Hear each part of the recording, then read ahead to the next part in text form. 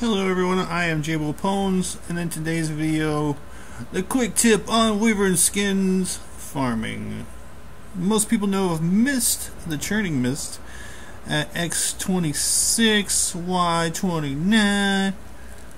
You know, this is probably one of the most common areas I see people farming Wyvern skins.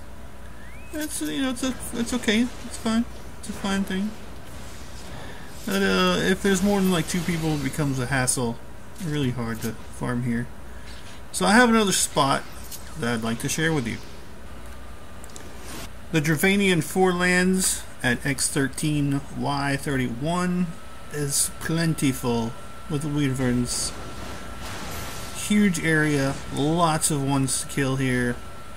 Uh, I tend to farm this location a lot more just because uh, no one else really ever comes in and like challenges me on on uh, stuff that I'm killing. So, but it's a huge area and a lot better farming. So I hope this helps you guys out.